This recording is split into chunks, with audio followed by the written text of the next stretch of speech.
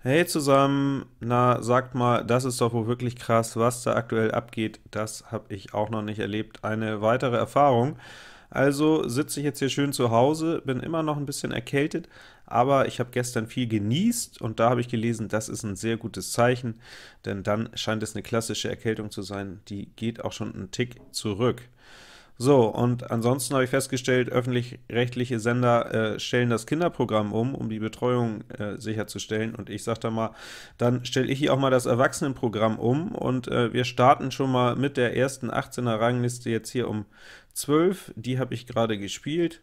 Ja, muss sagen, in den letzten ähm, Tagen habe ich so ein bisschen im Delirium, also wirklich nicht mit klarem Kopf, richtig mies gespielt. Also ich habe Spiel verballert, wo ich im neunten Stich nicht abwerfe auf 59, also habe mir hinterher selbst einen Kopf gefasst. Habe auch zu viel gereizt, ein bisschen zu viel getrommelt, angegriffen, einfach so aus der Lameng. War alles nicht so dülle und deswegen stehe ich jetzt auch gar nicht mehr so tipptopp da, aber ähm, gut, in der 18er Rangliste kriegt jeder einen Preis und dabei sein ist ja manchmal auch schon die halbe Miete, also ähm, immer weiter geht der Spaß und ja, logischerweise, gerade aktuell, denke ich mal, ist Skat wirklich eine ganz gute Beschäftigung. Ja, was soll ich so sagen? Ich versuche euch ja sowieso immer dahin zu bringen, jetzt mit der Familie zu Hause oder eben hier online eine ganz pfiffige Geschichte. Ja, während wir hier auf Pepi warten, dass der mal seine erste Karte spielt, nachher um 17 Uhr gibt es äh, einen Sonder... Äh, Preisgeldtopf für das 17 Uhr Turnier. Wer also um 17 Uhr hinten im Ergebnis eine Endziffer 17 hat, also egal ob das jetzt 1517 sind oder nur 117, der bekommt 17 Euro extra, also es sind hier ein paar interessante Zusatzmotivationen im Programm. Mal schauen, wer alles um 17 Uhr dann Lust hat, diesen diese Chance zu ergreifen. Und das gleiche gilt dann, glaube ich, auch nochmal fürs 21-30-Turnier. Könnt ihr auch auf Facebook gucken, äh, Euroskat macht da aktuell relativ viel, und die Skatinsel ist wie immer dann auch mit dabei als guter Partner. So, und hier hat inzwischen Roboroy das erste Spiel völlig problemlos mit 87 Augen gewonnen, und dann schaue ich jetzt mal, dass ich hier den Fokus wieder ein bisschen auf Skat bekomme. Ach ja, und Prost natürlich. So, beim Grang. Man muss ja nicht immer Asse ausspielen. Ich habe es so in der Hand, ist, ist eine Möglichkeit, aber vielleicht hat äh, Pepe ja auch einen Buben und keinen Karo, habe ich mir gedacht. Also ist vielleicht Karo hier sogar eine bessere Angriffskarte, wo die Buben sowieso, äh, wo ich nur einen Buben habe, das heißt im Zweifel die Bauern 1-1 stehen. Aber das kam hier alles nicht zum Tragen. Stattdessen Kreuz 10 auch noch blank. Ja, sieht also nicht so aus, als könnten wir hier brillieren. Nee, da ist schon der Rest bei Roborob, Roboroy. Und der hat einen guten Start in die Liste erwischt.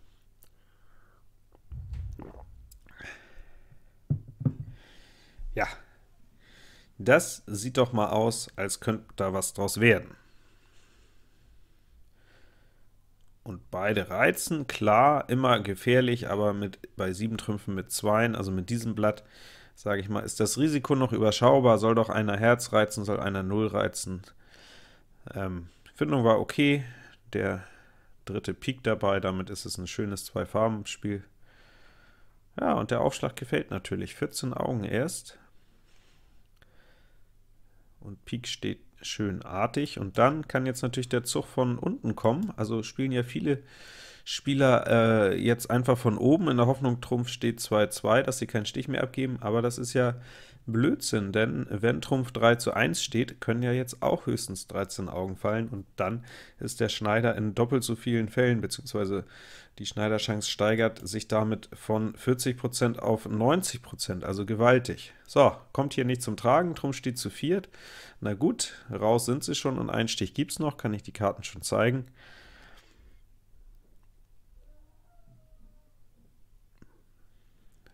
Ja, okay. Und da möchte jemand noch weiterspielen. Auch in Ordnung. Noch den letzten Stich mit einsacken. Auch wenn das natürlich nicht reicht. Aber das sei Ihnen natürlich gegönnt.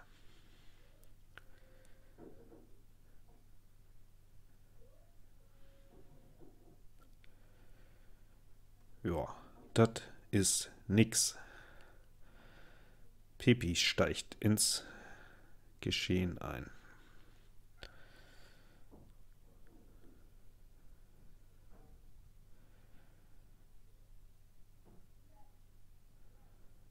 Ja, nach meinem Blatt kann er alles gewinnen. Auch den Grang, auch wenn ich zwei Buben habe. Meine Beikarte ist ein buntes Bilder und sonstiges Kraut.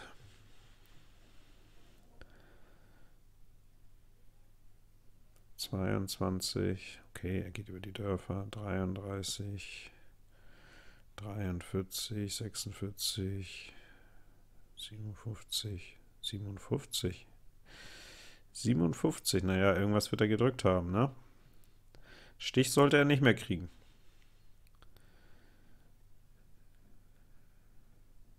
Okay. Okay. Spielen noch einmal Karo oder Kreuz. Na gut, dann haben wir auf jeden Fall Rest. Also, wenn Pepi vier Augen gedrückt hat, dann hat er gewonnen. Aber inzwischen äh, glaube ich das nicht. Welche sollen das gewesen sein? Nein, er hat tatsächlich null Augen gedrückt und verliert diesen Grang. Oh, mit zwei Bauern, Ass 10, Ass, Ass an der Seite. Ich glaube, Karo Dame hätte er besser schon mal gedrückt, statt, ähm, ja, die null Augen, welche immer das waren, Pik Luschen wahrscheinlich. Und dann hätte er vielleicht, äh, ja, das Spiel doch irgendwie ein bisschen anders aufziehen sollen. Nochmal den Buben raus und dann irgendwo ein extra Bild erschnippeln hat das uns ein bisschen leicht gemacht. Also 40 Punkte ohne großes Zutun einkassiert.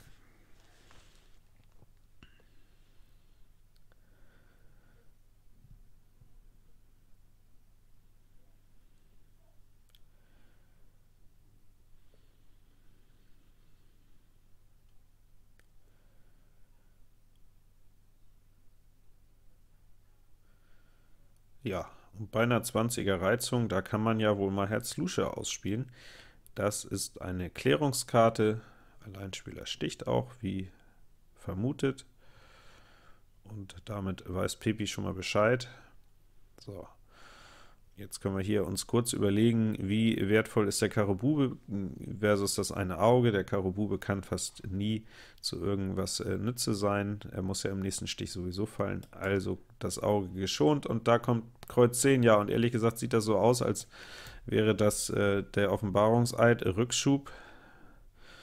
Ja, und damit würde ich sagen, Feierabend, das ist es gewesen. Können wir also nur äh, den Schneider bei uns verbuchen. Karo 10 Stich war quasi noch geschenkt, das war aber trotzdem korrekt gespielt von Roboroy. Er wollte ja gegen alle Verteilungen Schneider spielen. So, ja, könnte man, könnte man, könnte man. Pik oder Herz, ich denke 20 kann man noch mal sagen, ne? 20 kann man noch mal sagen. Will man natürlich schon den sechsten Trumpf finden in Pik oder Herz. Und mehr ist es auf keinen Fall wert. Natürlich so ein einfaches Karo-Spiel möchte man auch nicht so gerne sehen, aber das hat weniger mit Hebereizung zu tun, als noch mit den eigenen Chancen in Herz oder Pik. Also die 20, naja, grenzwertig, aber noch vertretbar. Ja, und Pipi lässt sich auch nichts anmerken, das spielt einfach Kreuz. Okay. Sieht ja von hier alles harmlos aus. Ich werde mal jetzt nicht Herz 10 anbieten, habe ich mir gedacht. Ähm, denn Roboroy hat wahrscheinlich vielleicht auch aufgrund der Reizung lang ausgespielt. Oh, was war das? Karo 10 nur. Das ist natürlich erstmal ein Stück weit verdächtig. Wo ist Karo Ass? Hat Roboroy etwa Karo Ass und das ist nicht raufmarschiert? Nee, hat er nicht. Karo Ass ist gedrückt. Nee, drei Augen äh, sind mir hier zu wenig. Ich habe im Moment noch nicht so ein klares Bild. Jetzt habe ich ein klares Bild. Äh, Pik Ass und Karo Ass sind im Keller, aber Pipi hat hier ein kleines Problem, nämlich dass äh, Pik 10 nicht läuft. Und dann war es auf jeden Fall gut, dass ich die Herz 10 nicht angeboten habe. Herz kann er ja gar nicht mehr haben. Ja, und das ist ein trumpfschwaches Spiel, das ist dann zu wenig. Dann haben wir zumindest hier den Rest. Ja, und das müsste für, ja, das langt ja für uns, trotz 22 gedrückt. Das langt für uns. Und eieieiei, Pik Bube sogar auch noch bei meinem Partner. Das war ja ein richtig teures Ding. Au, Kreuz ohne 8, und nach meiner Karte sah das überhaupt nicht so aus. Richtig unverfänglich sah das erstmal aus. Gut, aber so ein Ding natürlich mit zwei Viererlängen in Karo und in Pik gegen eine 20er Reizung, ja, das ist natürlich schon gewagt und das ist hier nicht gut gegangen. Pik 10 hätte wohl noch mindestens laufen müssen. Ähm ja, und das war eben nicht der Fall, steht Pipi also da bei minus 400, das ist natürlich nichts. So, und jetzt kommt hier das zweite Eingepasste. Ich glaube, Pepi hat jetzt das äh, Spielen eingestellt. Ich habe ja hier wirklich gar nichts. Was macht Roboroy? Noch ein eingepasstes. Ja, also da muss man natürlich auch so ein bisschen drin stecken. Ich habe es mir eben schon gedacht und jetzt ist es sicher Gewissheit. Drei eingepasste am Stück. Pepi hat hier das Reizen eingestellt und das ist natürlich äh, gefährlich. Jetzt ähm, mit schlechten Karten noch zu reizen, sollte man sich gut überlegen. Gut, das ist jetzt natürlich ein Ansatz, aber gerade jetzt kommt auch Roboroy aus dem Gebüsch wieder und lässt mich nicht den Kreuz hier versuchen, hat wohl ein besseres Spiel. Also jetzt wird es hier ein bisschen haarig. Gefahr ist quasi im Verzug. Mal gucken, wie ich aus dieser etwas ungewöhnlichen Liste rauskommen. Ist ja die Hälfte auch schon rum. Ein Spiel erst gemacht, das ist noch nicht viel. Und jetzt schauen wir uns mal den Herz-Hand an. Hat Roboroy natürlich wieder das Spiel ausgewählt, wo ich auch im ersten Moment ähm, die geringsten Chancen habe. Trumpf jedenfalls nur drei Stück. Karo gleich gestochen. Aha, wie soll denn das Spiel jetzt überhaupt noch gehen? Trumpf volle sind auch beide bei Roboroy. Kreuz Ass hat er auch noch. War natürlich hier so ein bisschen die Hoffnung, dass mein Partner vielleicht dann in Kreuz stechen kann, aber da fällt auch schon der Pik Bube, das ist natürlich der letzte Trumpf bei Pepi. Ja, damit würde ich sagen, können wir in diesem Spiel wirklich nichts gewinnen, es sei denn, Pik Ass ist noch bei meinem Partner, aber das sieht hier nach dieser Pik Dame nicht mehr so aus. Dann werden wir wohl nur aus dem Schneider rausgerobbt kommen.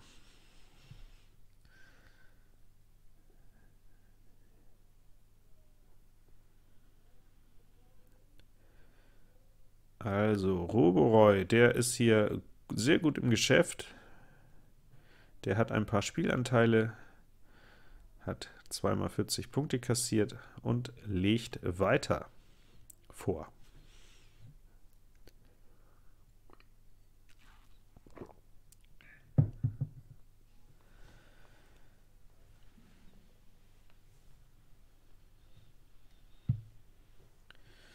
Ja, mit einem Grang.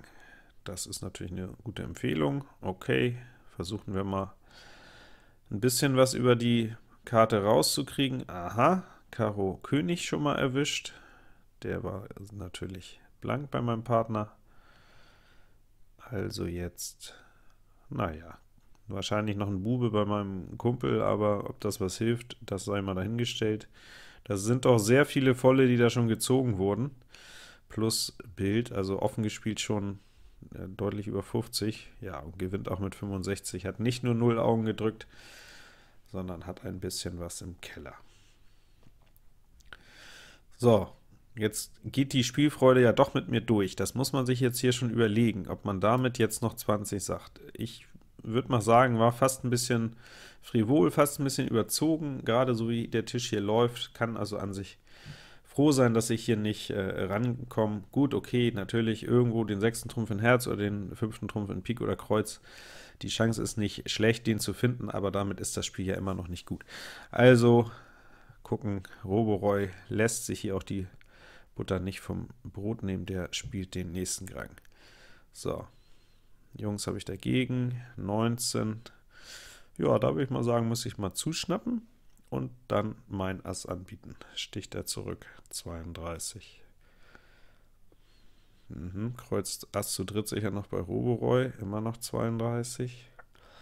Ja, also ich sag mal so, wenn er noch das Pik Ass hat, dann denke ich, dass er sowieso gewinnt und ich will ihm jetzt hier kein Bild mehr geben. Wenn er volle gedrückt hat, dann kann das die Entscheidung sein. Also mal hier die 10 blank stellen. Kreuz Ass hat er sicher auch noch. 43, 46 offen gespielt und jawohl, das war eine sehr gute Idee, hier die Pik 10 blank zu stellen. Das Bild haben wir gespart und guckt mal an, wofür das reicht. 60 Augen, 14 im Keller, hat nicht gereicht, also Roboroy kriegt hier einen kleinen äh, Nackenschlag verpasst, dass der nicht zu weit nach vorne wegläuft. Komm also wieder her zu uns. Und das wäre ja eigentlich ein guter Auftakt, um jetzt für mich hier ins Spiel einzugreifen. Ja, aber das Ding war mir jetzt auch wirklich noch so eine Nuance zu dünn, muss man sagen, weil die Beikarte komplett, kompletter Scherbenhaufen ist und für den Null nun wieder mit drei Faulen auch nichts. Wenn es nur so ein halbes Farbspiel und ein halber Null ist, dann kommt am Ende selten was Gutes dabei raus. Und erst recht in der Situation, wo man dann womöglich auch hier bei 18 schnell dran ist, ähm, wollte ich das nicht riskieren. Ja, das sieht ja schon auch nicht so gut aus, alles klar. 6 Trumpf, Karo in Schnitt gegangen, natürlich erstmal jetzt äh, meine Blanke rauszwitschern, eine kleine Chance für meine Trumpf Dame, ja, da ist sie auch. So, und jetzt müsste noch ein Karo Fee bei Roboroy sein. Ist es die 10 etwa? Nee, ist das Karo Ass, gut. Dann war es hier ein bisschen erstaunlich, dass Pepe jetzt nicht die Karo 10 gespielt hat. Ich hätte natürlich auch gestochen, aber ich kann ja mit meinem Eintrumpf nicht Karo und Pik Ass abstechen. Also mehr war nicht zu holen. Wir haben wieder unsere Pflicht erfüllt und sind aus dem Schneider rausgekrochen. Ha. Die Liste, die halbe Liste nähert sich dem Ende und es sieht bisher nicht so rosig aus hier für mich, für Pepi natürlich erst recht nicht aber auch bei mir äh, kommt nicht viel an. Roboroy freut sich über viele Spielanteile. Ja, und da ist es wieder ein 7-Trümpfer mit Karo Ass, also nur noch zwei unbekannte Karten. Ich denke mal, er hat nicht Karo König Lusch dabei, dann hätte er geschnippelt, das hätte ich jedenfalls gemacht, vor allen Dingen hat er auch überhaupt nicht überlegt, das Karo Ass kam blitzschnell, da kann man auch mal immer drauf achten. Also wenn, dann hat er nur einen Karo, ja, alles klar, dann hat er noch eine andere Fehl. Die leuchten wir gleich aus, alles klar. Pik 10 sogar auch noch gedrückt, aber wir haben 32 und nur noch Trumpf bei dem lieben Robo. Das Spiel war natürlich auch leicht zu spielen, sage ich mal. 7 Trumpf, Seitenass, beide Trumpf vollen und noch ein Ass im Keller. Okay. So, 3 Asse eine 10 und trotz alledem sogar ein Ansatz für 0. Sind mir 18 wert, aber mehr auch nicht. Man muss manchmal Geduld haben. Übrigens eine Weisheit, die auf uns alle wahrscheinlich in den nächsten, nächsten Tagen, Wochen noch so richtig zukommt. Und beim Skat kann man sich an der Geduld schon mal üben.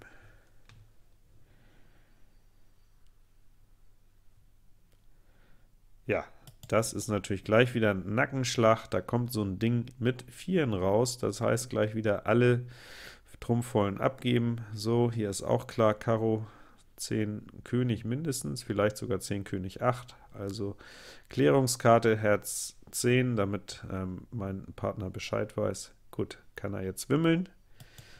Ja, wo ist jetzt Pik Ass oder Pik 10? Ich meine, eine Fehl ist noch da. Wenn wir Pik Ass bei uns haben, kommen wir noch raus. Nee, hat aber Roboroy.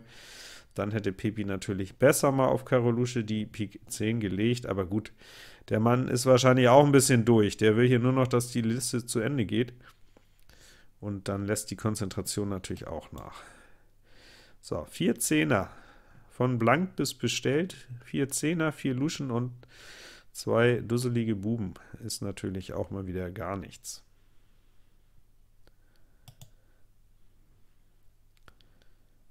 Ja, das Spiel wollte auch keiner haben. Okay, Roboroy hat sich ja von dem verlorenen Grang überhaupt nicht aus der Ruhe bringen lassen. Der hat einfach danach wieder einen Hattrick hinterhergelegt, steht also fast auf 700. Schönes Ding.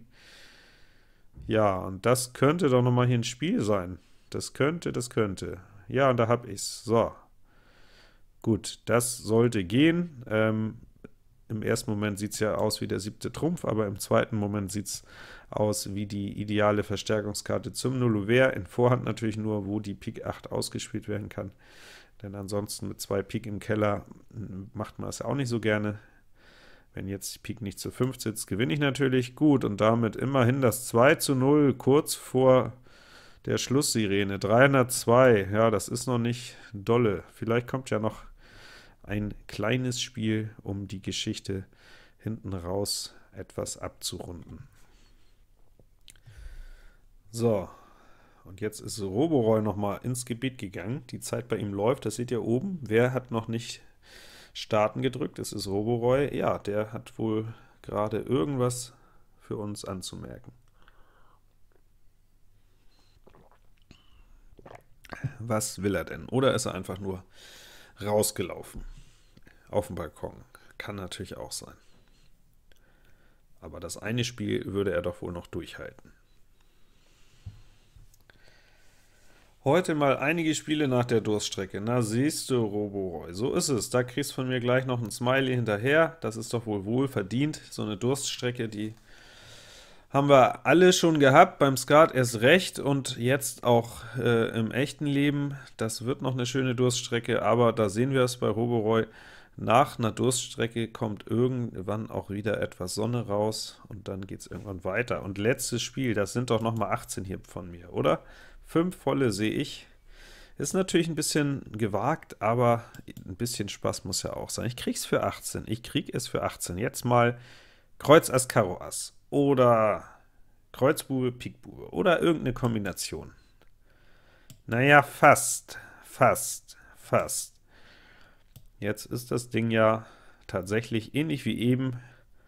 Äh, das beste Spiel ist plötzlich ein 0. Gut, und der ist gar nicht so schlecht. Karo 8 und 10. Also wenn die Karte etwas glatt verteilt ist, gleichmäßig verteilt ist, dann kann der schon leicht nach Hause gehen. So, und das ist aber nicht so schön. Hofft natürlich, dass dann hinten jetzt vielleicht Kreuz abgeworfen wird oder Herz, aber direkt Pik 3 zu 1 und Abwurf Karo sieht äh, ein bisschen dusselig aus. So, und die Karo 7, die kommt vielleicht ein Stück zu früh, ne? Oder? Einer müsste doch da hinten noch sein. Jetzt ist ja fast die Frage rauf mit der 10 wenn hinten irgendwie noch so Bube oder Dame blank ist. Nee, wir haben ja sonst immer noch die Chance auch, dass wir auf Herz nochmal wieder abschmeißen können. Nee, viermal Karo auch noch bei PP. Ja, die Karte saß ja richtig nett. Direkt einen hinterher, 46 plus und dann wieder 46 minus, da hätte ich mir also auch schenken können. Höre ich auf mit 206 Punkten, äh, ein sehr bescheidenes Ergebnis, war aber dabei mit der Freude von Roboroy, das entschädigt für einiges. Pepi sicher noch äh, härter bedient als ich. Ja, so ist es eben beim Skat. Ich freue mich natürlich auch, solche Listen zu zeigen. Ich möchte ja nicht nur die Gutwetterlisten zeigen, gerade in der jetzigen Zeit. Vielleicht ein, ja, kommt da so ein bisschen äh, Freude auf, wenn man sieht, dass es ja hier allen schlecht geht, dass wir alle im gleichen Boot sitzen. Alles klar. Dann ähm, muss ich mal gucken, ob die Tage ein bisschen mehr Skat von mir kommt. Gute Chance ist da, würde ich sagen. Ähm, passt auf euch auf, bleibt gesund und bis bald.